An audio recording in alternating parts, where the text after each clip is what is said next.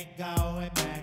Not gonna buy into all that. Hey, hey, ain't gonna hide. Gonna let all the fears slide. Got mother nature is on my side. Got all of the loving. All right. Hello, everyone. Welcome once again to the New Now. I'm delighted to have Dylan Charles on with us for the first time, editor of Waking Times, co founder of said same website. I highly recommend, if you haven't, to check it out. And he is working his way into what I could say is maybe a new vocation, self mastery coach, which leads us into our talk today, or where we're going to begin Ikigai, uh, finding life's purpose, discovering life's purpose. Hello, Dylan. Hey, Lorenzo, thanks for having me on here. You said some very kind things before we started, and I really appreciate that. And uh, yeah, it's an honor to be here. Yeah, you were one of my first inspirations. Uh, you know, we did print for 11, 12 years, the, the new Agora, and, you know, we shared. Yeah, okay. Yeah, we shared tons of what you were sharing, and, you know, from Gary Z. McGee uh, to Kingsley L. Dennis and a whole bunch of others. So you were Yeah. pretty much one of the only publishers directly in line and online with the evolutionary bent of what we wish to share, you know, as far as giving people an opportunity to become better people through their own actions, which is what led me to Ikigai, figuring you got to do it for yourself. You have to determine it for yourself. And, uh, but I don't want to put any words in another editor's mouth. How would you Mhm. see Ikigai and how it's led you to where you are today?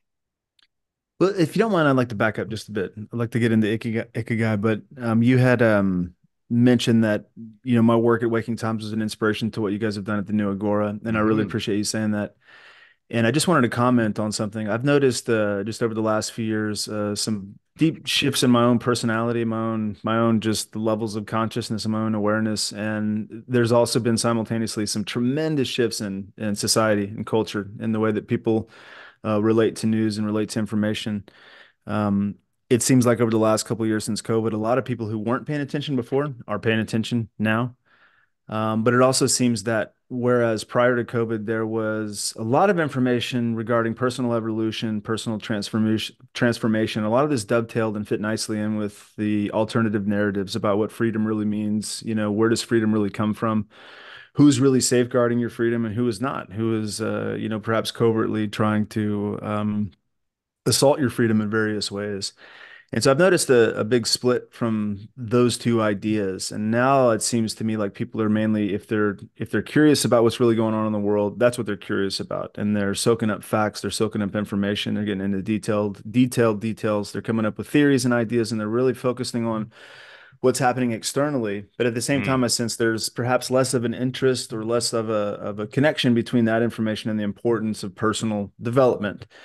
And so, um, kind of in light of that, kind of just honoring what I've been feeling over the last couple of years, I've backed off from doing publishing at Waking Times, especially over this year, and I'm just really trying to like d- develop um, the resources in within myself to approach it differently. And so, it's interesting that you bring up Ikigai because that really is what I think is what's most valuable to people right now.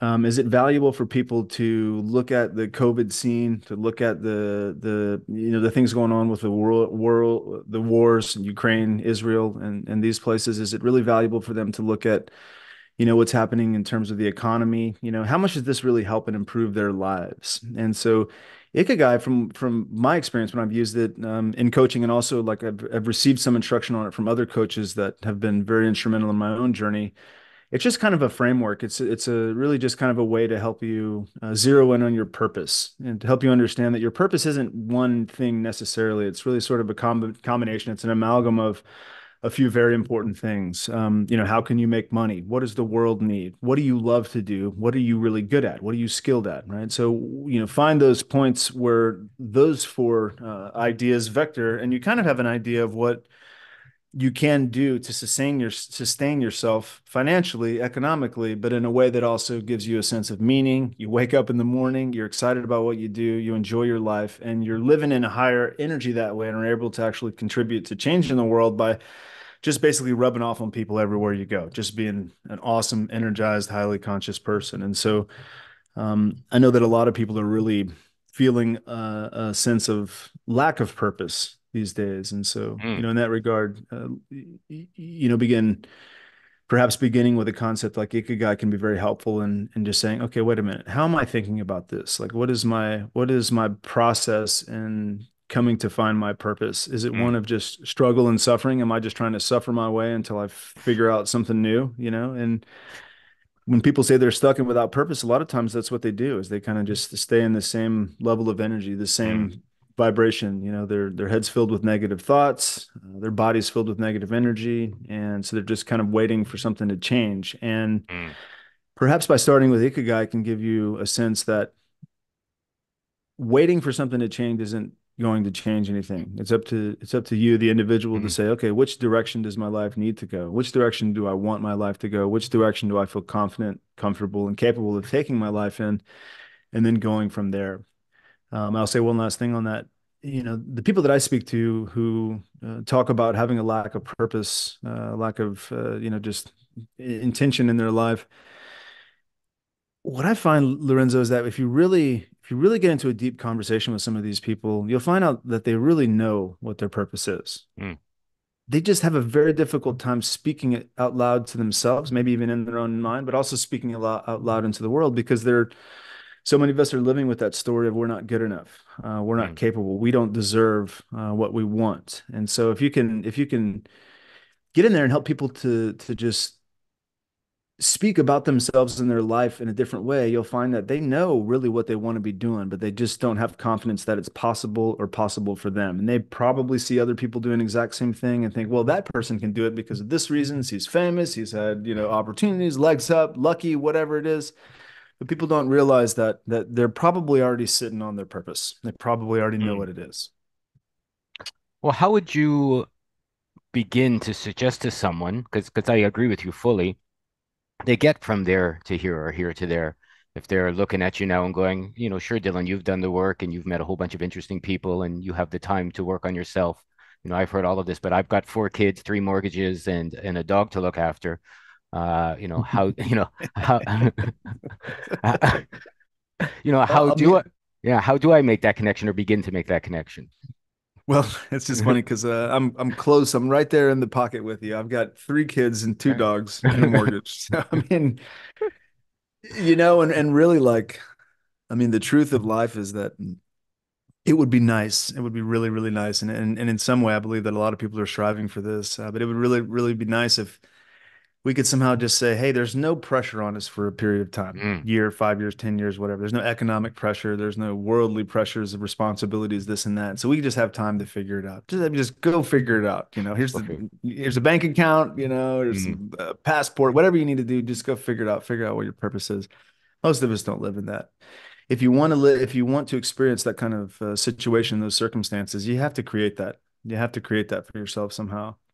And so, you know, for somebody who is, for a lot of the people that I work with as a as a coach, like a lot of my clients, they do find themselves in that situation. You know, life has already happened. They're already in the middle of their life. Things are already set up a certain way. There's already routines. There's already responsibilities. Mm. There's already bills. There's maybe debt. Uh, there's already there's already downward uh, pressure. There's already stress. And so the reality is that like you kind of have to figure this stuff out as you're going along. You kind of have to work on yourself on a daily basis, no matter what the heck else is going on in your life. And you know, I use my life in my work, uh, in in in my podcast, in my writing, and the work I do with my my clients. I use my life experiences as as a guide. I'm very open with them. And so even like over the last couple of couple of years, Lorenzo, like the anxiety level in my own body has somewhere out of nowhere just come from out of nowhere and just it was elevated to levels I've never experienced before. And I see this in a lot of people. I think I don't know what the connection is, The COVID, additional stress in the world, whatever it is, but uh, I don't have time. I don't have time to just check out and go spend a month in the jungle. like I, you know, I, there was a time in my life where I did have a little bit of freedom to do some of those things, but I have to figure it out. I have to, I have to be able to, you know, I can't, I can't just say, okay, well, I'm off. I'm not sure of myself. I'm off my purpose. Well, I'm going to go spend a week, two weeks, three weeks doing a retreat, go drink some plant medicines, go sit with some shamans or this sort of things and figure, figure things out. And that's not really, uh, it's, it's not possible for most people, but it's not even really uh, that helpful because if you go out and you you leave your environment and you totally reset and you come back to your environment, you're still faced with your environment. You still have to learn to adapt to your environment. You're still in that same fishbowl, if you will. So the real like the real benchmark is how do you feel on an everyday basis? How do you feel about your life every single day throughout the day, different times a day? And when you can master the fluctuations in the own in your own feelings about your life and about how you view the world and the possibilities for yourself in it, that's really where the, where the gold is. Personal growth is a daily a daily process, and you have to be able to say, okay, um, I know where I was a month ago. I know where I was six months ago. I know where I was a year ago. Things are getting better. I know that I can see a greater vision for myself still. I still feel there's greater possibilities to be at peace, to be uh, more productive, uh, to be just um, uh, more positive in general, to to to to clear up my thoughts. But I'm not there yet.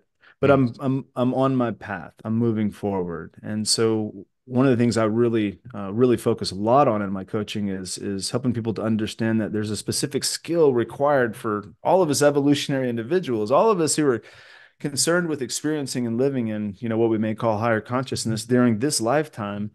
Um, yeah, I can go to a shaman's retreat and experience that for a night. But how can I experience that on a day to day basis? And so I work with people in really understanding that there's a, a skill, the skill of letting go, the skill of self mastery of your emotions, the uh, with the goal of emotional sobriety in mind, so that you can stay and operate in a relaxed body with peace of mind. And then you have the energy. Uh, it's the energy is not being uh, spent on negative thinking. It's not being spent on worry, anxiety, stress fear but then you have the the the energy free to actually use your time to move things forward for yourself. Um, people who are in in marriages and and you know like in, in family uh, parental roles and that sort of thing uh, with financial obligations and all that stuff they don't have a lot of time. And so the time that they do have they have to be able to have mastery over that time. And I don't think there's anybody here listening to this who would disagree that it's really difficult to concentrate on what's best for you when all you feel is anxiety, when all you feel is overwhelm, mm. when all you feel is a sense of fear about the world and a sense of doubt. And so really like the the change happens when when the change happens when people develop the courage to be exceptionally truthful with themselves about who they are, what they want, how they got here, what their options are what feelings are taking them further away from that and what they can do to master their own inner world so they can have the energy to go out and experience the life that they know they deserve. How would you say people could develop that honesty? I would think developing. Uh, yeah, because I would think a lot of people, as you say, do know what's best for them, do know where they want to go, you know, have that, and have probably always had that since they've been three or four yeah, that's just my opinion. And uh, people end up lying to themselves quite a bit throughout mm-hmm. their lives for all the reasons you mentioned: family, money, mm-hmm. children, mm-hmm. uh, you know, responsibilities, and and such. So how do they make that connection where they're going, sure, you know you've done it you know you've mm-hmm. uh, you've you know I, I, think it's great that you're in a, in the same boat in a similar way. You have children you have a mortgage you're a regular person you have anxieties. I mean that is yeah that in my opinion yeah. is, is, something i share with everyone. Is like i'm nobody special you know you, you know anyone is everyone and we've all had to get over our challenges and develop that honesty or self honesty well, honesty is about communication. And, and let's say, like, if I wanted to master free throws, right? If I wanted to get good at basketball free throws, like, where would I go do that? I would go to a basketball court. I would stand at the free throw line. I would shoot free throws all day long, right? Uh, uh, honesty is about communication. So a great place to start is, um, you know, rather than a basketball court, get a journal. Mm. Write to yourself, speak to yourself. And it's, I always recommend journaling with my clients. And a lot of, some people do it, but a lot of people don't do it a lot of people just don't understand like there is a very real scientific almost value to to journaling. Something happens when you move a thought or an idea from yeah, bingo. my, yeah. my, latest journal, yeah. Yeah, something something happens when you move a thought physically outside of your head, down the meridians, mm. energy channels of your hand, out through your, you know, your key hand, your writing hand, and onto paper, and then you articulate it, you see it, the energy of the thought literally moves from your body to outside of your body, but it exists. And then when you see it, you're actually able to memorize and things coalesce in a different way. So journaling is actually very, very therapeutic and it doesn't cost anything, right? Um, if people can learn to talk to themselves, I think you'll find that if if if you develop a journaling practice, uh, it's very it's very difficult to BS yourself when it's just you. You know the truth. You know the truth, right? Uh, but another place where they could do that is uh, a confidant, a coach, a counselor, a therapist. Like these people, you know, I've I've leaned on all of these. Uh, you know, I've had counselors, therapists. Uh, I've got coaches in my life. I've got great friends that I can call any hour of the day to just be like, "Hey, this is how I'm feeling. Suss this out with me." Um, but find people in your life life that are willing to be honest. That are willing to be honest, willing to call you out on your BS. You know, I had a I had a conversation with a young client who's uh, currently in Iceland and uh, it was just an interesting call. A, young man, and he's a stellar young man. I really have a lot of admiration for him, and he's just kind of stuck. And over the last couple of months or six months or so, we've been kind of communicating back and forth, and I've noticed in his behavior towards me that there's a lack of commitment to himself. Right? He'll make mm. a promise to me, which is really a promise to himself, and then he breaks it, and then he's got reasons for that, and then he's very mm. adamant about articulating the reasons because the mm. reasons make sense. They, you know, and so we got on this call, and I was like, "Hey, man, I got you for a few, few short minutes.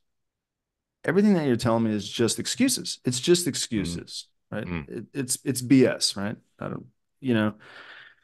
It doesn't matter. I personally don't care what the excuses are. I just want to see you happy. I want to see you have results. And from my standpoint and my position in your life, I could tell you like the way that you're going about looking at your life isn't truthful. It isn't honest. You're not being honest with yourself. And it was a very profound conversation and had a very big impact on this this young man. And so as as a coach, sometimes Lorenzo, I find myself in that position of like, this person needs a reality check.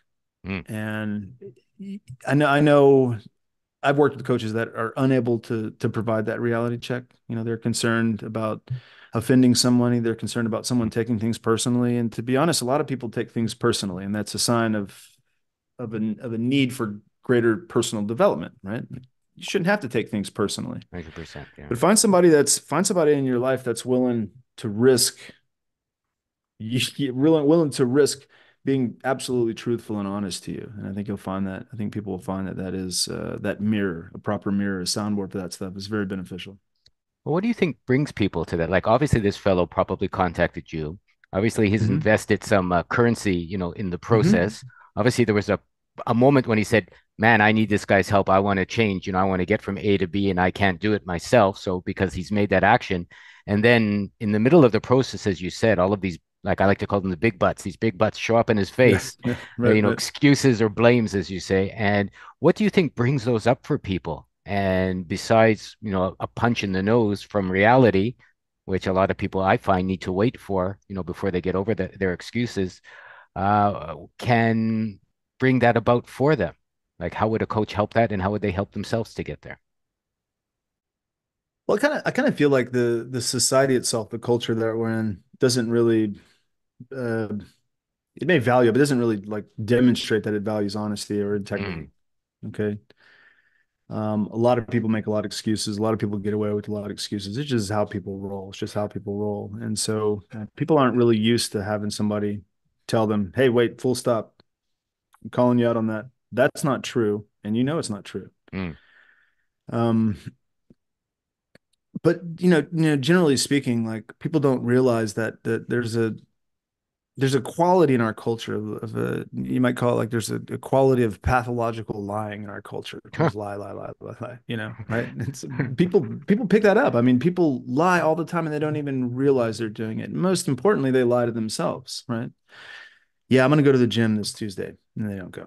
Yeah i'm going to stop eating sugar for a week and they don't do it. Yeah i'm going to you know i need to quit drinking whatever. Okay well i'll quit drinking next weekend well after the new year's party whatever you know and these are these are you know qualities of a pathological liar. It's a sort of a, a almost a, one of the one of the other mind viruses in our in our culture. So mm. people are really just used to avoiding those hard questions and avoiding the truth, uh, uh, which is a way of avoiding responsibility. And so when I really look at this, when I really go deep uh, with someone on this, we look at the the emotional vibration, like the the the the the feeling of dissatisfaction, the feeling of dis ease mm. within them. We look at that as a substance of its own, almost like as a, as, as a drug, its own addictive substance, right? So this set of feelings, this this this set of neurochemical cocktails that are given off. You know, we have serotonin, dopamine, we have uh, um, adrenaline, cortisol. We have all these different hormones that produce uh, oxytocin, the happiness uh, hormone, right? We have all these hormones that produce different feelings in the body. And we tend to only give ourselves credit and think that we're addicted to the ones that feel good. But I think mm. that that's not true. We're actually chemically addicted to the negative ones as well. So we get really used to experiencing negative states and we subconsciously create circumstances or create events or chaos or drama within our relationships that give us access to that drug, that set of negative feelings. And so as a coach, like helping people to see this really kind of is often enough the breakthrough that they need. They're like, well, wait a minute, hold on, you're right. I keep finding myself back at this same set of feelings well, what did you have to do to get there? If you were addicted on crack and you said you found yourself another hit of crack, and I said, well, what did you have to do to find some crack? Well, I had to go down the block. I had to rob a liquor store, whatever it is. Like, you know, the process of what you had to do to get your crack. Crack, crack, people who are addicted to crack and hard drugs, the drugs don't even feel good anymore. No. But when you look at it like that, you can see the process, the hard work, like the diligence, the effort, the commitment they will put into recreating that feeling for themselves. And you could say that a drug addict is doing that unconsciously as well. Like they don't know what's driving them. They're just driven, driven, driven. Something else is in control. And so it's the same way with these negative feelings, this anxiety, this fear, this overwhelm, this self doubt. Like, what are the, you were feeling good for a couple days. What are the events that happened that transpired to where now you're feeling that same familiar set of feelings again? And then it's usually, oh, well, I, I started a conflict with someone at work. I was rude to somebody. I road raged on somebody. I was, uh, um, you know, I, I binge ate Oreo cookies at nighttime. right, like I, I started a fight with my wife over nothing. Right, um, I got crazy drunk at the party and made a fool of myself. Like there's always all these things going on, and the end result is access to that set of feelings that isn't pleasurable, but it serves as another drug and so I really focus on helping people clear out the things of their life which which prevent them from seeing that mechanism within themselves for what it really is. Um, they may be drinking, they may be smoking, they may be smoking pot or doing whatever drugs or pills or whatever to to sedate themselves. But when you take all of that stuff out of the way, you finally get a chance to see uh, the the emotional patterns that are that are driving all of this, and that's what people really need to pay attention to and in the context of the world that we're in if you just look at like the the tone and tenor of media the tone and tenor of, of news the tone and tenor of political debate the tone and tenor of uh, how leadership talks to people oh.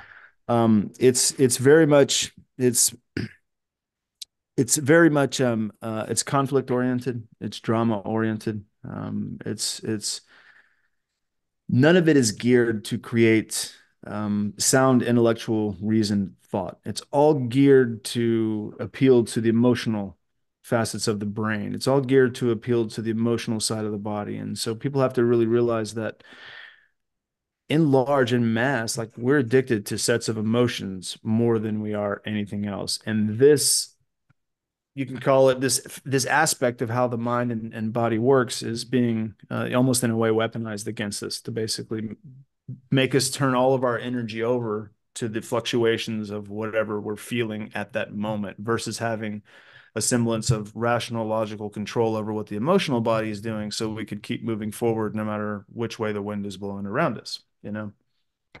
Well how would you put that in the context of let's say the mind virus? I'm happy you brought that up. So the mind virus you know connected to the emotional pain body connected to the addition uh, well addiction to to said feelings as, as you just mentioned and the uh, media, cell phones, even you know mm-hmm. laptop news, doing that on purpose, right? So on purpose, on pain. How would you allow people to, um, well, how would you suggest people, you know, start to get a grip on that for themselves? Yeah, there's an old phrase I've heard so many times, but it, it goes like this: It says, "Awareness is curative." Mm. Okay, awareness is curative. That's that's that's medicine in and of itself, right? So, and, and you see this, man, because you've been involved in what we've been calling the awakening. You can see the dramatic shifts that people can uh, uh, take on in their lives in a very short time once they're aware of mm. you know, once they're aware that circumstances that they were living under aren't necessarily what they perhaps thought they were living under, you know, the world, the world isn't what it really seems. And mm. You see people change and adapt to that very, very quickly. Um, and so we know that people are, you know, human beings more than anything else are good at adapting, adapting, adapting, adapting. And so a lot of times, like just enlightening people with knowledge about how the the nervous system works right how the, the mind body connection works you know just and and how you know the brain is understood to function you know there's you know one of the it's not a recent model and it's it's kind of slowly getting upended here but this model of the triune brain there's three parts of the brain. There's the reptilian part of the brain you know down in the in the cortex in the base of the brain. And then there's the the mammalian or the um the uh, mammal brain. What is it? The emotional brain right? Sort of like the mid center brain. And then there's the human brain like the the the logical rational mind and so we know that like the immune system or sorry the nervous system has a tremendous impact on which area of the brain is really um, you know calling the shots in any moment. And we all know this to be true because everybody's been scared. Everybody's like you know been around a loud thunderclap or a tornado or they've been out in the woods and they see a bear or they, maybe they've been in a road rage incident. And you know that as soon as that raw primal fear gets into the body and in the nervous system logic and rationality go out the window mm. it's like all of that stuff all of that stuff goes out the window. And so we operate on you know in, in what they call fight or flight mode. But just above that is like the the emotional brain. And so when we operate in the emotional brain like our our needs are different. And so if we're constantly sort of like riding in this state of of everything's emotionalized you know the ways that we communicate on social media like we communicate with emojis simple happy faces now. I mean i i, I keep getting like you know anytime i have a service call or a doctor's visit or anything i keep getting uh, you know uh, an email saying hey we want you to rate this and it's like four different yeah emojis right you know sad face super happy face and everything in between and it's like you know, that movie Idiocracy, when when they go to the hospital, perhaps you've seen that. You know, it's the same thing. It's a, re- a reduction of intellect, a reduction of intelligence, um, uh, a, a, bypassing of the rationality of the human mind, and and and supplanting and and exchanging that for personality. Uh, so you know, we're screaming, we're we're fighting, we can't think straight. You know, like everything's hysterical, right? and so yeah i mean we're we're basically like being trained externally to just communicate and operate with the emotional body only and so mastering the nervous system mastering the emotions gives you access to the parts of your mind that allow you to think long term that allow you to think what's best for me today what's best for me this week what's best for me over the next 10 years of my life and so yeah it's very it's very clear to me that everything coming at us is is demanding an emotional response. And so when people understand that and they start to see that for what it is, they start to say, okay, I know what's going on here. Mm. I want something, I want something good for my life out of here. And this is a roadblock to that. And so they start to look at things differently and they start to start to participate. They can start to change the level of significance that they uh, prescribe to uh, external events. You know, like for example, uh, people that I know on, you know, people that are I'm in communication with on Facebook, right? Um, anything happens, they go crazy sending all the memes about it. You know, oh, the yeah. latest thing Israel. You know, I've got I've got I've got plenty of friends from Israel. I've got friends who don't support Israel. Hmm. yeah, I've got all ends of the spectrum you know, it's all of a sudden everybody comes a, you know, everybody comes a one trick pony and just starts repeating the same information mm. over and over and over again. You can see how, like, you know, if, if you look at it like a virus, like that's that's the spread of it. Like, you know, these little nodes of repeaters that, like, okay, this is the this is the the missive, this is what the information is, is what the talking points is. People pick those up and they spread the virus through the way that they communicate. So ultimately, we're talking about communication, and and unfortunately, I think that people communicate with themselves now in this way as well. And mm. so it's one of the things i really i really constantly work on with myself is how do i communicate with myself? How do i communicate with my partner in my relationship? Like these are the two areas that are most important they're closest to me in my life. Like how am i communicating? What can i do to upgrade and up level my communication to myself? And it's really not it's i can't say that it's at all easy it's a process. It's a commitment. It's a daily like okay i recognize now that i'm i'm not really walking my path that i'm i'm not really doing myself justice by thinking healthy thoughts or eating healthy foods you know? And so it's it's it's a path. There is no there are breakthrough moments along the way in the path, but it's it's a constant attunement to your own your own burning desire to to experience positivity, inner Mm. peace, and purpose in this life, no matter what is going on outside of us, no matter what's going on.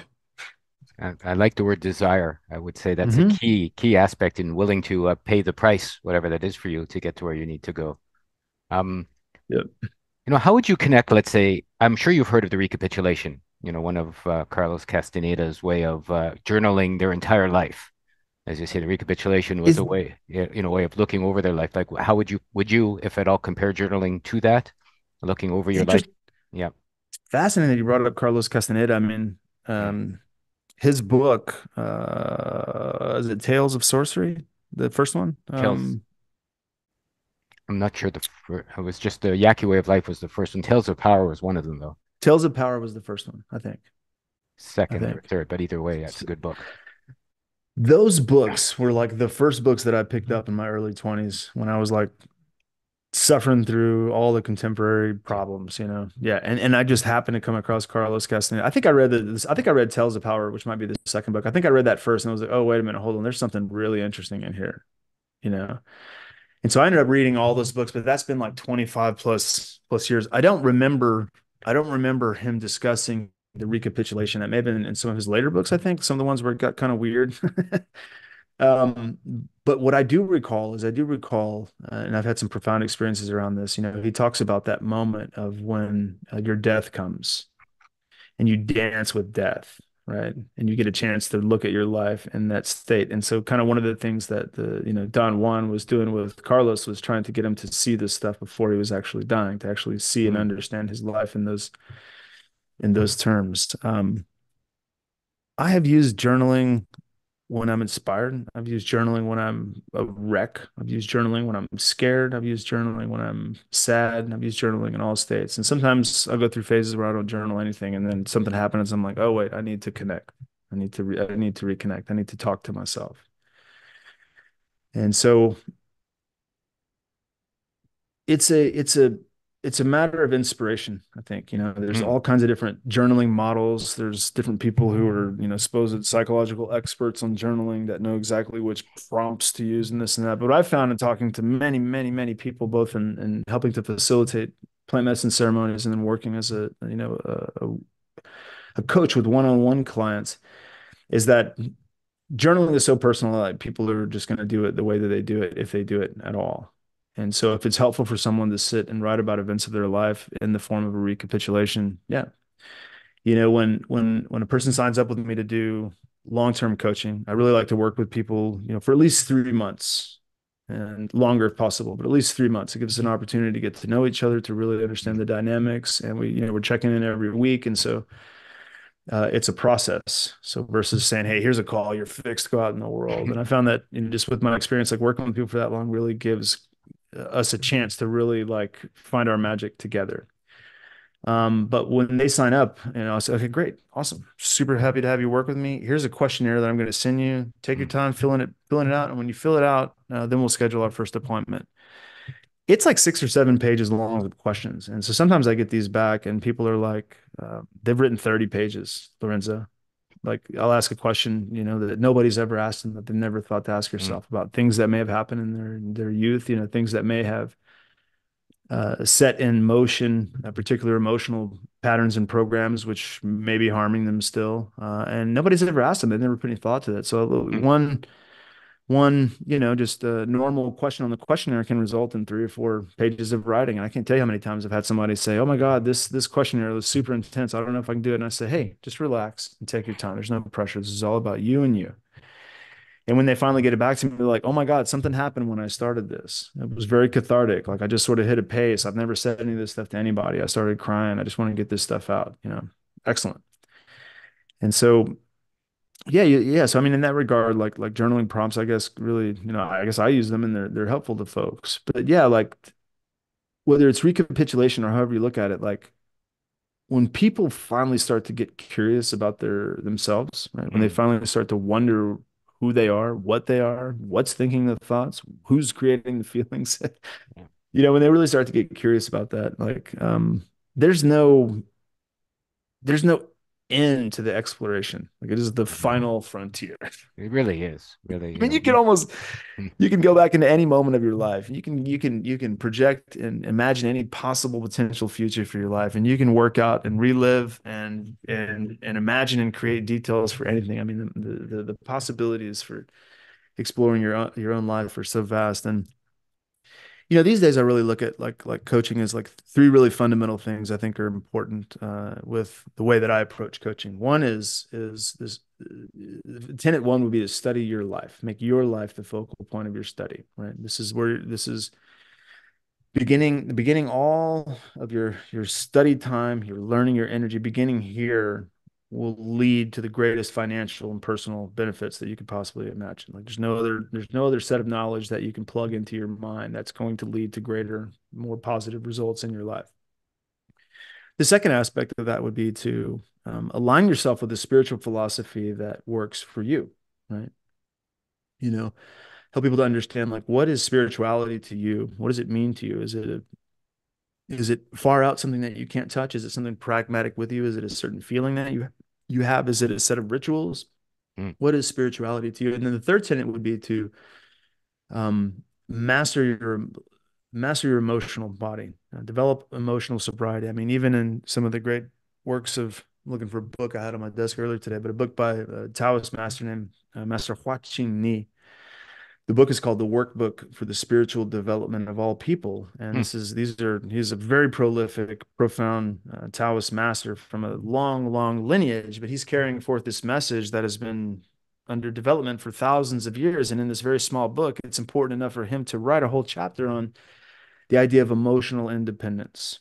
It's that much of a spiritual uh, it's it's it's of that high of spiritual significance, emotional independence, emotional mastery, emotional sobriety. And I use the term sobriety because emotions are the drug that precede craving and dependency on any and all other drugs. And so, like the study of your life, like really, if you look at the Bwiti philosophy, which is a, a religious, not a religious, but a spiritual tradition from Africa, those are the, those are the, that's the spiritual tradition mm-hmm. that uses the plant medicine iboga as a, as a sacrament when you sit with proper Bwiti elders in ceremony, and if you get the opportunity to hear and understand what their uh, purpose is in doing this medicine, their purpose is in, in participating in this spiritual philosophy, it, it has everything. I mean, it's all 100% about studying life, studying your own life. And when we go into ceremonies, we say, all right, tonight it's you versus you. Who's going to win? Right? It's you versus you. Who's going to win? Somebody's going to come out on top. Who's it going to be? Mm. And when you when you journey with a, a, a plant medicine like iboga, it's it gives you the opportunity to to and it's unlike anything else, but it gives you the opportunity to to very very closely examine um, broad details or very specific details of your life, and you could look at your life in a completely different context. And so, what you end up leaving with, um, you know, after ceremony with that is you end up leaving with an understanding of uh, just a, like a much deeper, richer understanding of why you do what you do, why you did what you did, why what you did that you thought was so bad and horrible, that unforgivable, that you've been living with guilt and shame, shame with ever since, why that's irrelevant to your life now, why it's okay, why it's why it's okay to let that go and let go of that that Mm. guilt and shame, right? And so when I look at when I look at spiritual philosophy, I mean, philosophy, I'm really driven by the the traditions of of the Amazon, the uh, the ayahuasca or the yahe drinkers of the the Amazon, and my teachers uh, from from that culture. And there are many traditions of ayahuasqueros. There are many, um, you know, there's there's a lot of different denominations, if you will, of ayahuasca drinkers, and a lot of them are what they call syncretic. And so, if you go to an ayahuasca church or an ayahuasca ceremony, a lot of times you'll see um, well, you'll hear songs in Spanish. Spanish wasn't the original language from the jungle, right? Like the, the the the medicine came out of the jungle from a very indigenous populations, like deep in the jungle. They didn't have Spanish, so that's a syncretic addition to the tradition, singing in Spanish. If the if the shaman or or, or, or facilitator of the ceremony, uh, you'll find that they often have uh, rosaries or candles with Virgin Marys on them, or uh, sometimes crucifixes or you know Christian symbology. Well, that's a syncretic tradition as well, Hmm. right? So they're they're attaching spiritual ideas onto something that was devoid of all that, something that was pure, that was free of all that in its inception from its from its original core. Right. And so my elders from the Amazon, the Secoya, like they've always taught me to uh, avoid avoid the worldly things, avoid the worldly pursuits, the worldly interests, and seek knowledge from the celestial from the celestial beings who preside over the energetic the energetic reality of all things. In other words, seek the highest spiritual uh, uh, um, um, partnership that you can in all things, right? And so that may look, you know, to one of my teachers in that tradition who is, you know, who's not indigenous but has been working with this tradition for 34 years. To him, the the the spirituality of Taoism very much fits into what the ayahuasca drinkers are, are, saying and experiencing. And so I find personally like Taoism is a great spiritual foundation for me. It helps me to understand that the world is the way that it is. It's not my job to fix the world. It's my job mm. to relate to the world in a way that brings me and others around me peace and inspiration. You know? Um, um, so yeah, so those are some of the some of the. Have you heard of that book, the Tao, the Tao of Health, Sex, and Longevity? By Daniel Reid. Uh, that's Daniel. Daniel Reid, I think. Daniel Reid. Yeah, I had that in my library for a long time, for many years, and I had to get rid Me of my too. library when I moved back from Costa Rica. But I need to get that again. I, I picked that one up probably twenty something years ago at the, at the. Oh yeah, one of my qigong instructors from from the early 2000s. Uh, yeah, one of my qigong instructors recommended that to me, and I got a lot out of it at the time and read it for years. But yeah, I used to sleep with it under my pillow in my 20s. Uh, yeah, there was you a know, whole, you know. Yeah, yeah. There's a whole Taoist section on developing the diamond body, which was very interesting. He talked about in that book mm-hmm. about you know, and it's interesting that even though you know we didn't talk specifically on recapitulation the you know the last 15 or 20 minutes of what you've been talking about has been specifically a recapitulation right going over your right, life right. seeing what works right. what doesn't work you know putting your emotional uh, body into context and seeing how you're developing what you're actually want to you know make real and how you're not you know through habits and rote and and and uh, you know maybe misperceived information on how you can develop your life towards your personal goal Mm-hmm. Uh, you know, what would you say, let's say, in relation to that on the the specifics of energy work, on healing, you know, their emotional body, you know, from past traumas and pains and, and things such as that? Well, I've done a lot of like physical healing work on myself. Um, the stuff that's been most impactful for me have been a couple different varieties of qigong um, mm. One of one of I studied for several years, which is very intense. It was very intense, very esoteric type of qigong, but that that was very powerful and and in doing what it advertised, which was like uh, changing my energetic energetic makeup. Uh, and so what I mean by that was that I felt differently about myself and I related differently to people. And so you can see that evidence of the process and work when you when you do something like this in relationships that you've had, like all of a sudden, like the other person in that relationship isn't used to you being different, and it can create either you know what I mean. It can create uh, um, uh, difficulties in relationships when people change. But like it's not like you're changing clothes or changing professions. Like something within you is mm. is changing, and and it's not articulated or verbalized, but they sense it, they can feel it, right?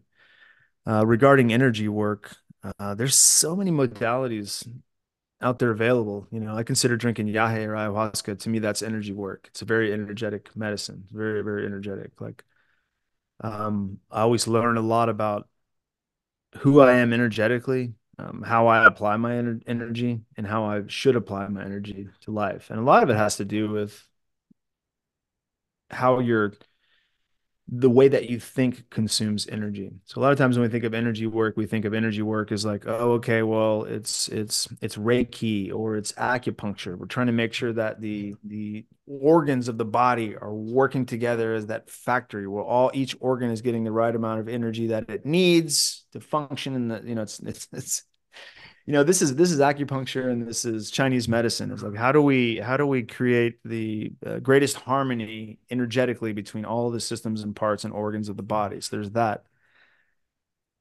Lately the way that i've been viewing energy work or the way that i've come to just view this this this concept of energy is like yeah acupuncture has been very very helpful for me at times when I've been experiencing different sicknesses, digestive issues, um, energy, like like low energy issues, even things like anxiety or depression. Acupuncture has been very helpful.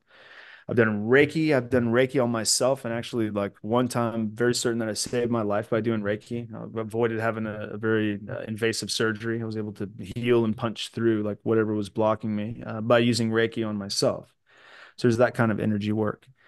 I think the most valuable thing for people these days is to realize, hey, if you want energy work, go get energy work whatever yeah. is sacral sacrocranial massages if you want you know mm. kundalini work it's all available to you and that's what's so cool like we live in a time where everything is available to you and almost in no matter whatever community you're in you can do breath work which changes your energy you can do stuff down at the ymca you can do stuff online and zoom calls you can get the energy work that you need physically but i think it's really really important for people to take note of the fact that energy is is well to answer the question of where does your energy go in your life like where does mm. your energy go throughout the day and you know most people think oh i was running the kids around drop the kids are off i had this deadline at work whatever whatever but where's your energy going emotionally and intellectually uh, mentally right mm.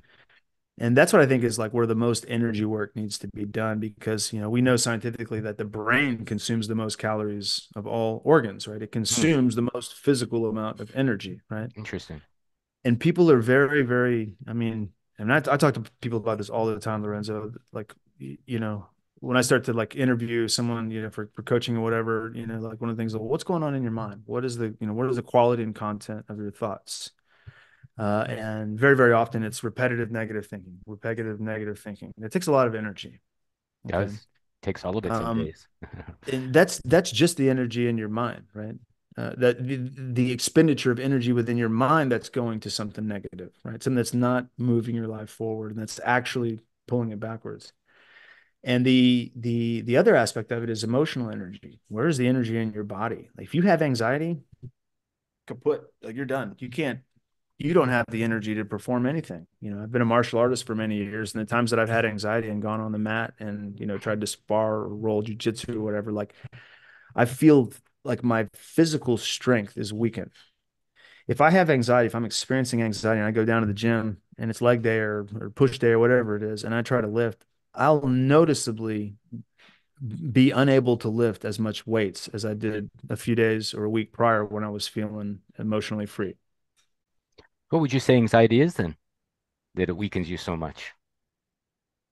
It's a, there's lots of different ways to answer that. I mean, you know anxiety is what is it they say is worried about the future. Depression is worrying about the past. Anxiety is worried about the future. But i think what people actually feel as as anxiety is a, is a, is a physical disturbance an actual agitation in the nervous system. An actual agitation in the nervous system. Okay? So the there's this thing we've heard of called the mind body connection. These, these two things are intricately connected. And what's interesting if you read recently i was reading about this so it was in uh, Joe Dispenza's book.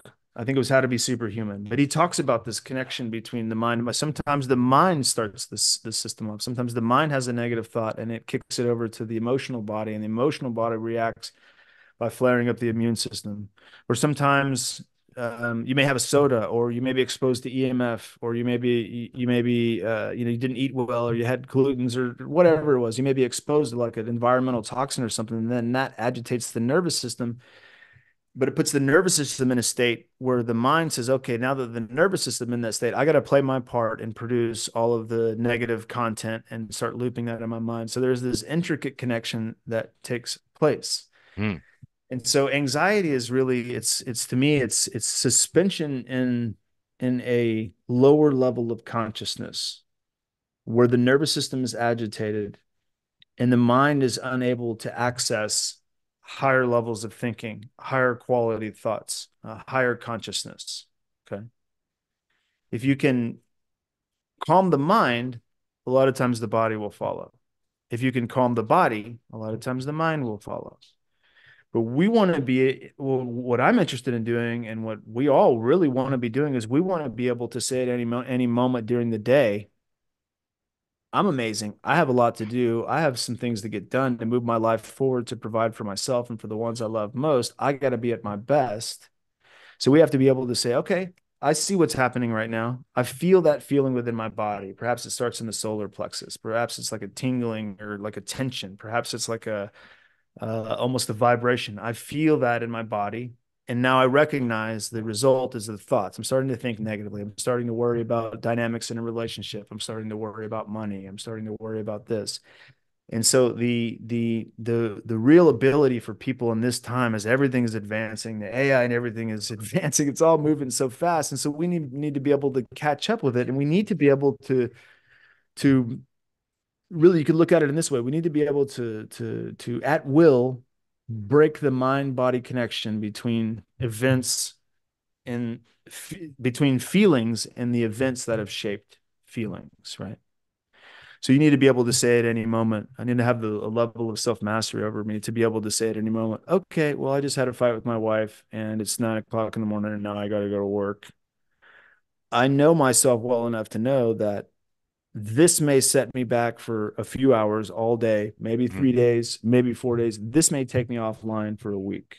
Mm. I mean, you you've experienced this, right? Like something something time. negative happens, and it's like you go right in there, and you're like, man, I thought I was going to let go of this. Is the day, two days have gone by. Mm. I'm still stewing on this. Yep. And so and so the the the real power, the real ability is to say, okay, I recognize what just happened. I mean, I've done this before many, many times. And now I'm in a process of retraining myself to develop the skill of letting go and breaking that connection between the, the, the mind body connection between the events and the feelings that were shaped by the events. And so I can say, okay, cool, that happened.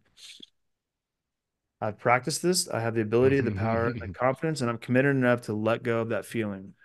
And you may have to go into your mind and say, okay, where is it in my body? It's energy, just like you know Tesla, Einstein, everybody said energy is always in motion. It's going to move. It's going to dissipate if left alone. It's going to run its course. It's not stagnant. It's not static. It's not going to just stay there. It moves. And you may have to actually like physically go in with your mind mentally and, and mentally and physically and help the energy move. So for someone like me who's a very physical person, I'm a very sensual, very physical, very, you know, just uh, um, I'm a Taurus, I'm an earth sign, right? I'm a very grounded person if I ever catch myself in this, which I, I, do all the time, man, I'm like, I'm just, I'm just human all the time. Like, okay, I feel that anxiety coming back in. I always start with my body. So I'll go out and I'll do uh, a walk, walks or walk the dogs, right? Walk, walk, walk. Uh, walk, walk, walks. Walk, I go walk, to the gym, lift, lift heavy weights. Um, I go out and do Qigong or, you know, a, a Tai Chi form. Um, I go do some Wim Hof breathing, go sit in the sauna and sweat it out, right? It always, for me, like really like what, what makes it possible for me to make these shifts really quickly is getting out of my head, grounded into my body, and then doing the work of like, okay, I understand how this process typically has worked in the past. It's very like me to allow this feeling that I just experienced, whether it's I, I looked on the news and everybody's screaming World War Three and we're all gonna die, you know, and like what that does to you, your nervous system, fight or flight, panic. I got no place to go. I'm in panic. Okay, it's my responsibility right now to breathe, release, and let go of that. Disrupt that connection. So there's an there's an event, and then there's the feeling about that. The event is the whatever's happening out in the world, and then the feelings that are shaped by that event is what's happening in your own body. Separate the two, and learn how to master like your emotional, physical body, so that you can step out of that. And what you'll find is that life is good. It's life relaxed. Is good. Life is good. It's relaxed. It's easy. You know, you can be productive when you're relaxed. You can be happy when you're relaxed. You can you can surprise people, people who know you really, really well, and, and they're like, oh, he's pissed off now. They'll be like, oh boy, he's pissed off. He's gonna be pissed off for a day, and then they'll they'll see you, and you'll you'll go through this process in your mind right in front of them, and be like, I'm pissed off. I realize that. Do I hmm. want to be pissed off? I don't want to be pissed off. Let me move this out of my body. Let me move it out of my mind and heart. Let it go breathe, release, and let it go, and then be like, okay, cool, I'm over it, man. What do you want to do? You want to have fun? And then a lot of times it'll catch. I mean, I've, I've done this so many times. It catches people. People go like, yo, you're bipolar. yeah. Crazy. No, I'm not. I'm in control of myself. Mm. I'm in control of myself, and you're not used to seeing that with me, and you're not used to seeing that with other people, and so it's kind, it's kind of, it's kind of weird, right? Seeing somebody mm-hmm. able, he, seeing somebody you can say, I recognize I'm angry. I don't. I choose not to be angry. I'm going to be at peace and be happy right now. It's gold invaluable. Priceless. It is. It's true. I, I see myself doing that a lot. I go, ah, I almost got angry, you know, and then I, and, you know, okay. I'm just about to get pissed off, and you know, but I think by bringing it out, you you made a good point there. Like if you if you're with somebody, you go, you know, that almost made me angry, but instead I'm going to laugh, right? And so you kind of bring out the emotions from the darkness, you bring it into yeah. the light, and uh, you know, I found the same thing that you've mentioned. If I'm not well, kind or loving, my limit, my options seem to become limited almost immediately. Yeah, or even you know, or even just um, you know, or even just being like, you know, hey, it's okay to be angry. I'm Mm. angry. Uh, like, you know, I actually find these days when I do get angry, I, I, I relish it. I enjoy it. It feels good. It's a higher energy than what a lot of people are experiencing. You know, when you're in grief, apathy, uh, depression, anxiety, fear, overwhelm, self doubt, worry. Um, Mm. You know, when you're in those states of emotion, anger is there's more energy in anger than there are in those other emotions. There's more energy. So energy is what you know. You asked about energy earlier. Like, it's a very low energy to be stuck in fight or flight mode, fear mode all all the time it's a very low level of energy. The kinds of thoughts you experience is the field of consciousness that you have access to is very low grade, very just Mm. base, right? you know, it's base desires, it's base fears, it's all of that kind of stuff. And so, really, the goal of all of this, of my life, uh, you know, is to to be able to master my own the, the way that I show up energetically to my life and in this world for the people who I care about, you know, the people who depend on me. And so, you know, anger is anger can be very, very helpful. But what we're talking about here is the ability to say, okay, I feel anger. I'm not judging anger, but is that what I want to feel? Mm. Fuck it. I'll feel some anger. Let's go beat the punching bag up. Let's go spar, right? Anger's good. I don't want to feel anger. I don't want to be angry today. I don't want to have this vibe about me. Okay, well then I choose not to be angry. I There's think a lot lot of power in that. And it's true. I think a lot of people miss when I when you say loving or kindness, you also have to turn that back on yourself. Sometimes feeling angry is a, a loving kindness to yourself if somebody's invading your space or doing something that's not, Absolutely. you know, I, I think a lot of people have been told from the new age, they've been ruined. Sit back, it's kind, only love and light, accept, and this is how the world, and you've shared lots of that information over the years Yeah. too. Uh, the monsters that be, let's call them, take over by telling people they shouldn't be angry, they shouldn't be looking after their family, they shouldn't Mhm. be protective of what's theirs and you know and and what they need to do. A lot of times, as you've said, that's loving yourself. Yeah. You know, and and yeah, sure, we're all dealing with what's going on in the world, Lorenzo. We're all concerned. You know, all those high-minded people are all concerned, but like they're every one of us has our own little life. Yeah, everyone has their own little life, our own set of responsibilities. We all have our own relationships. We all have Mm. our own relationships. And you know, so you know, um, I'll say this: a lot of the the clients that I've had, and I, I tend to find a lot of, uh, I tend to attract a lot of like women, older women clients, a lot of single older women clients. You know, who are Mm. just just Mm. wanting to walk with someone for a little bit to just change their perspective on things. And uh, you know, it's it's not uncommon for people in this demographic to to um, have lost a lot of time in their lives um, by people pleasing, um, over obligating themselves, doing more for others than they would do for themselves.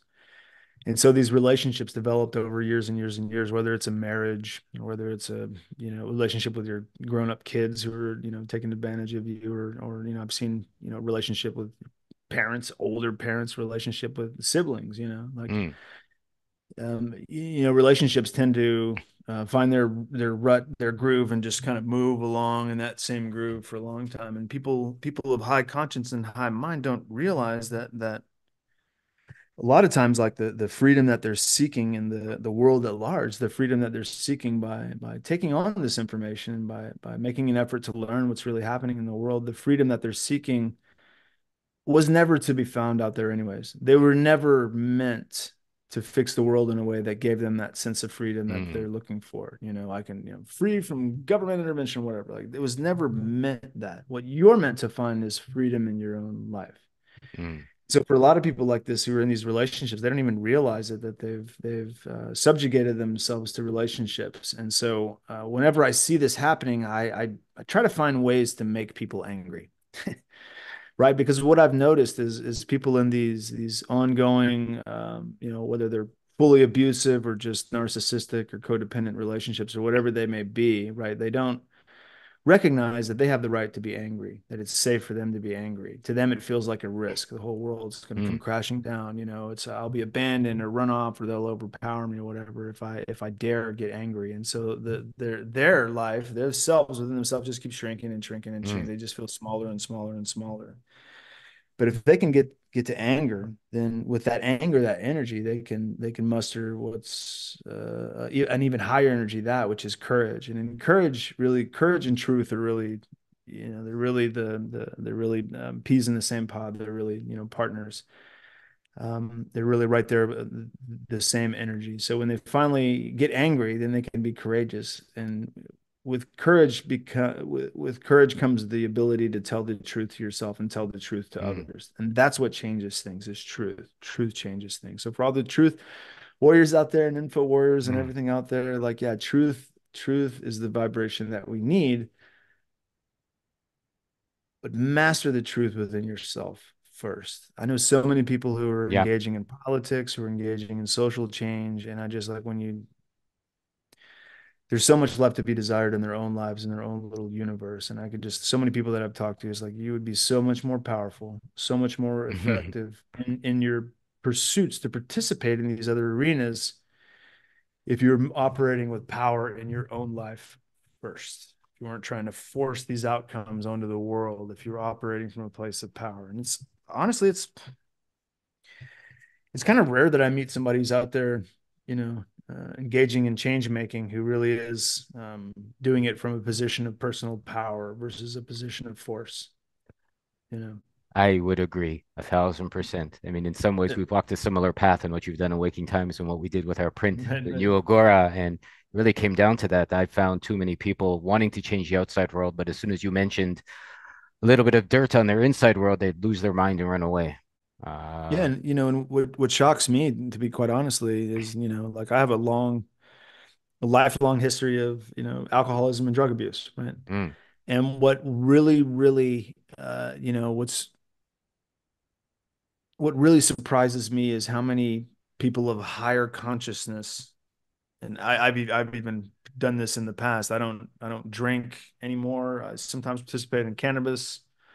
Other than that, I stay sober. And it's amazing to me how many people who haven't tried chemical sobriety for any for any long period of time are trying to pursue and achieve high consciousness because they don't understand because they're inside that energy they don't understand like the, how much the energy of especially drinking alcohol cool. um, uh, brings brings you down it's it's quite profound and so when i find people really trying to strive for a better life and they're drinking alcohol in any capacity i just like like it's a great place to start yeah. it is you know uh, most people have missed you know you make your own reality and so you really have to understand the engine of your creation which is you you know, as you move out.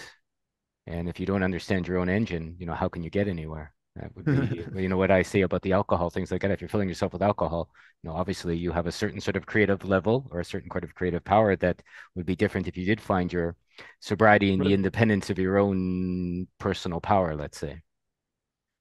Yeah, and it's not easy. I mean, from someone who has no. that as part of my story, it's it's really, really not easy. I mean, several of the clients I've been working in with this year are working on sobriety, chemical mm. sobriety from drugs, and it's an interesting, it's an interesting walk to take to someone, uh, to take with someone who is like, okay, I, finally recognize that I uh, that the pleasure isn't worth the pain. Mm. How do I break the cycle? How do I get through today? How do I get through tomorrow? How do I get to a place of peace? And it's it can be quite a journey for some to get that stuff out of your life. But the rewards are are, are unbelievable because um, uh, what happens, especially people who have reached their you know late 30s, 40s, 50s, and are still engaging in self medication through drugs, food, um, you know, sex, whatever it is, like they're still engaging in these things. They they really haven't ever had a clear picture of the emotional drivers that have really been mm. working underneath the mm-hmm. surface to create the circumstances and situations and opportunities that they've had and taken advantage of in their life. And so, um, I think that one of the things I take the greatest joy in these days, after spending so many times, so many, so many years publishing Waking Times, is is helping people to see that, helping people to understand what's happening uh, below the surface uh, with their uh, emotional realm. You know, what level of consciousness they live in, how they approach consciousness, um, and just how clear of a picture do they have on their own feelings right mm. Everybody knows that you can go out and you know get hammered right and you're going to go through like a crazy range of emotions mm. and at the time that all of it's happening like you're absolutely have no idea what's going on but you can see the entire gamut screaming, mm. fighting, crying, loving, whatever. Like you can see the whole gamut, and they're not feeling any of those at the time that they're happening. right? And so when you when you pull alcohol, substances, anything else out of like anything out of the way and out of the picture, they start to feel like this very uncomfortable feeling. Like, oh, something's something's bothering me. Uh, it's five o'clock. Where's that glass of wine? You know, mm. like something's something's off. Something's not right. Mm. And if they're committed enough to themselves in this process, like they're committed enough to to uh, achieving sobriety and emotional sobriety, they'll they'll get to experience that over time the anxiety that they've been living with, they start to identify it really, and it starts to fall away. Like they start to become used to living. They they, they become used to uh, seeing their emotional reality for what it is, not reality. It's not who they are. It's not what they are, and they start to live alongside of that and develop a, a sort of different path for themselves. And that's like for me, that's so cool to see. Like to work with people and to see them finally start to understand like oh okay for years i've been returning to the same set of negative feelings because i always felt this way. Where did that feeling come from? Oh back when i was little i used to feel this way all the time. Yeah okay okay cool.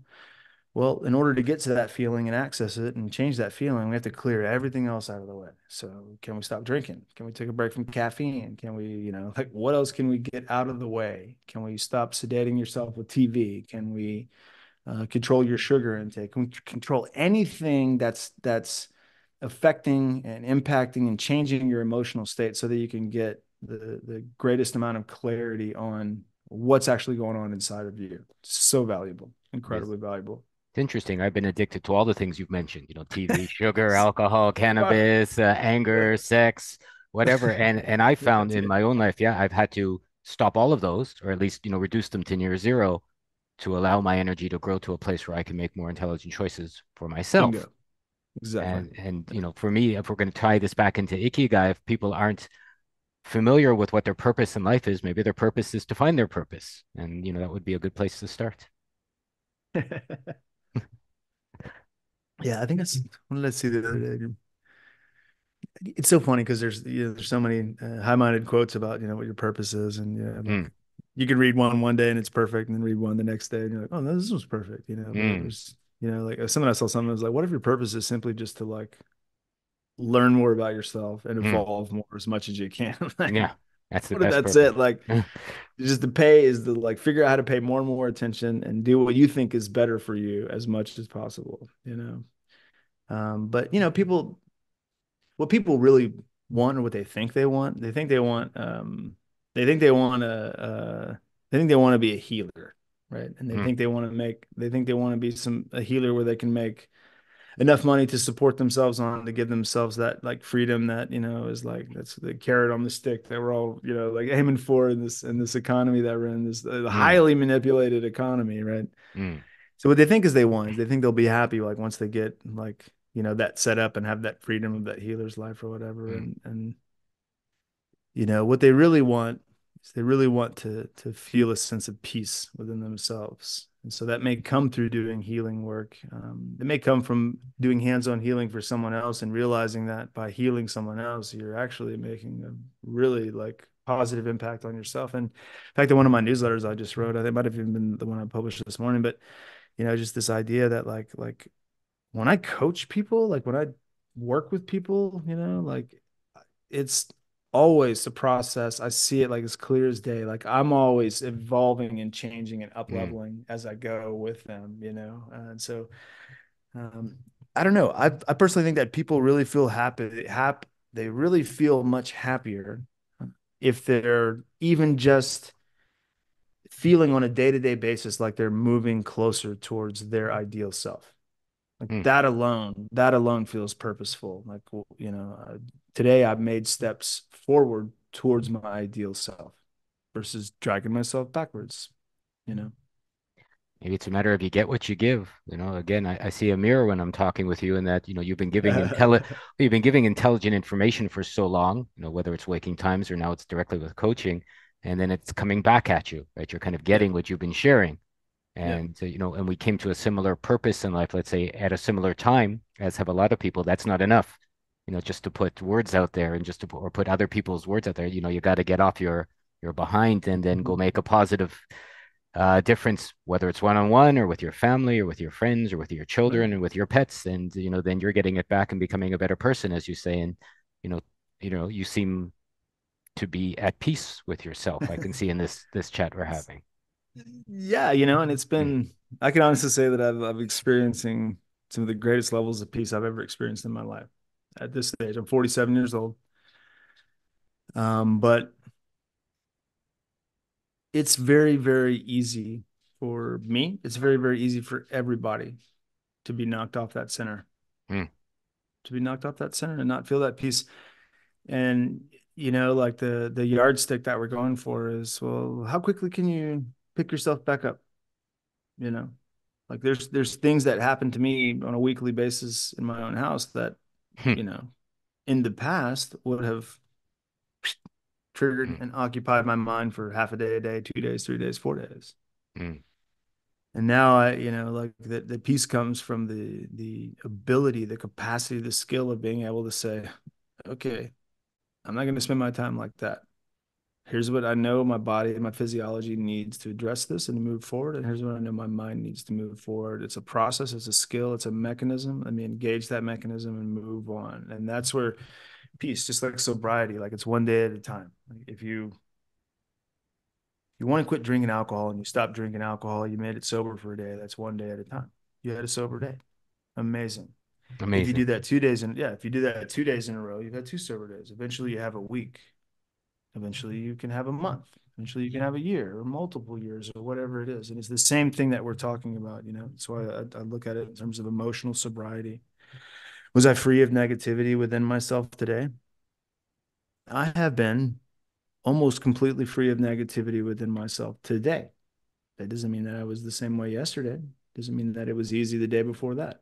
But it means that today I have not relapsed into a set of negative emotions. And I think using the language of addictions around addiction around this is very helpful because it is a relapse, right? Because like even people that I know that I know and I've coached with uh, that are in like very very dire straits with their lives, you know, uh, very very dire straits, just can't seem to see through the fog of it all, no matter what. And then all of a sudden one day they get a tiny little glimpse, and at that tiny little glimpse, you're like, hey, well, you know that it's possible there. All right. Mm. There's a possibility of feeling better there. Right. So there's no rule that says that you can't experience more of that, or there's no rule that says you can't experience only that if you want to. But now that you've done enough work to recognize that there is possibility, Mm.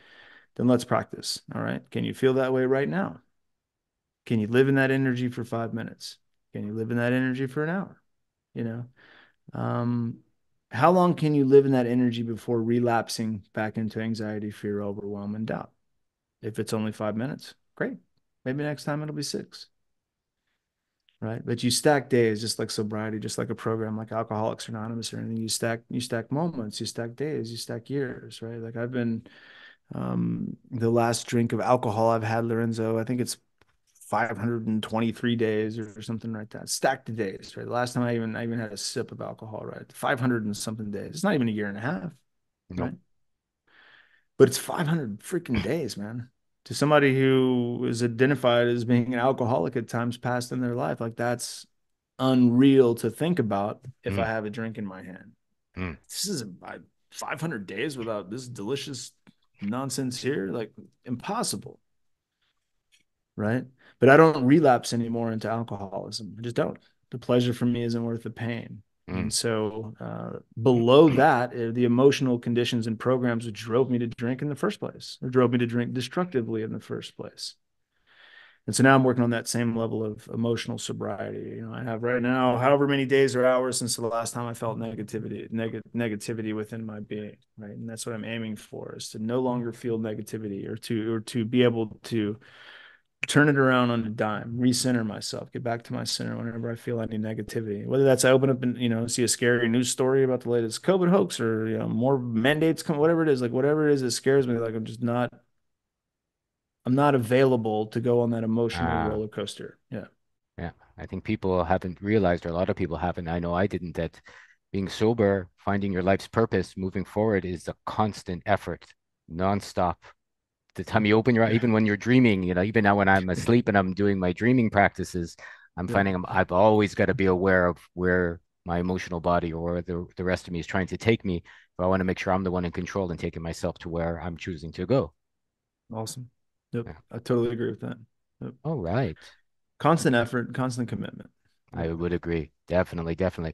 Well, Dylan, perhaps we've come to uh, you know a, a lovely conclusion on this chat on Ikigai, life's purpose, uh, you know, emotional sobriety. I, I, I like the fact that that's been the underlying topic in this because I would fully agree that if you're not emotionally sober, you know, you generally get lost in your emotional body, so it makes it very hard to make good choices for yourself. And uh, Absolutely. Yeah. is there anything you'd like to leave our lovely viewers with on the way out? Uh, just yeah, just uh, awesome. It's really an honor to be here and speak to anybody. I sometimes get an opportunity to speak on podcast or whatever, and I talk to people all over the world, and it's a tremendous honor. I meet so many, so many great, interesting people. Um, if you'd like to find out what my coaching is about, um, you can go to my website, dylancharlescoaching.com. You can sign up you for a free 15 minute uh, just insight call. We can chat. We'll just get on the phone and chat for 15 minutes and share insight. I love doing that. And if you at that point, if you're interested in coaching, great. If not, no big deal. I just talk to people all the time. Um, I will say that my website, Waking Times, and my podcast, Battered uh, Battered Souls, like uh, those have kind of been on pause for about a year now. I haven't published much content.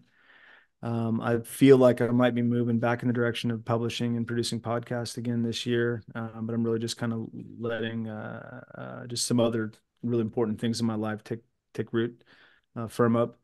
Um, but yeah, please, um, if you go to dylancharlescoaching.com, you can get a free 15 minute insight call or you can sign up for my newsletter. And I just like share insights and interesting stuff on the newsletter. So uh, thank you so much for having me on. It's always a joy to talk to people scattered all around this big blue earth. All the way, So- yeah.